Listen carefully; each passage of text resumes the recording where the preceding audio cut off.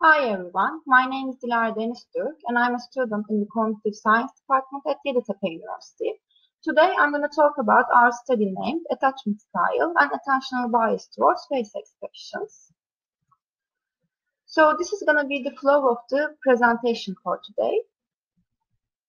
Attachment theory is identified by Bowlby as a biologically pre-programmed need for emotional bonding with other people especially with the primary caregiver of the infant.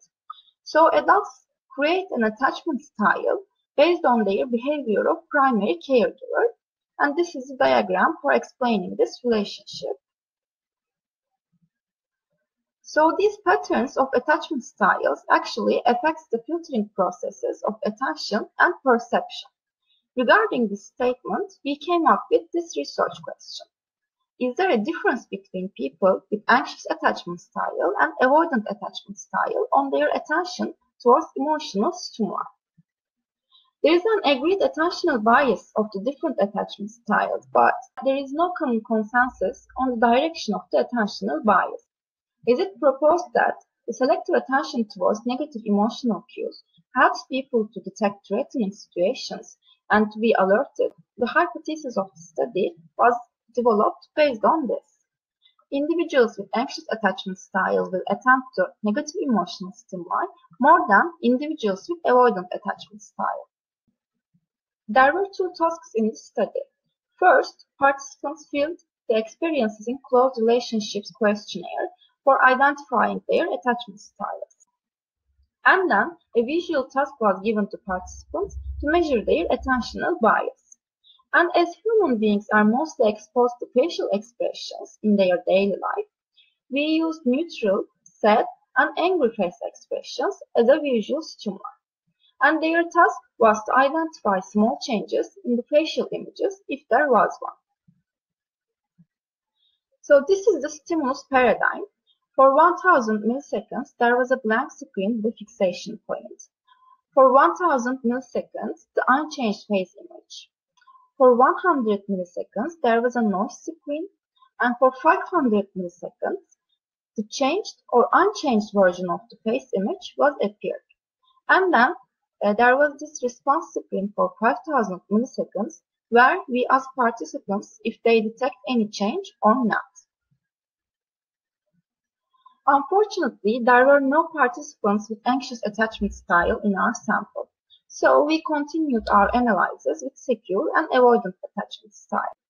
Overall performance of all participants on neutral face expressions was higher than the negative face expressions.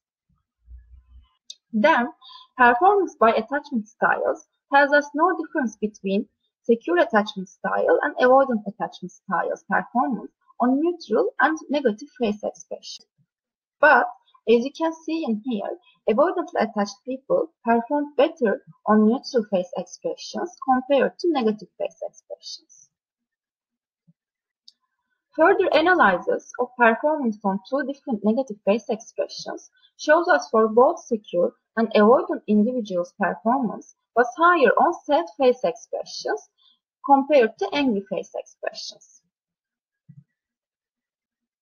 Finally, these are the results of the reaction time data and shows no difference between the stimuli or between the attachment styles. In our findings, there was no difference between the attachment styles on attention towards emotional facial stimuli.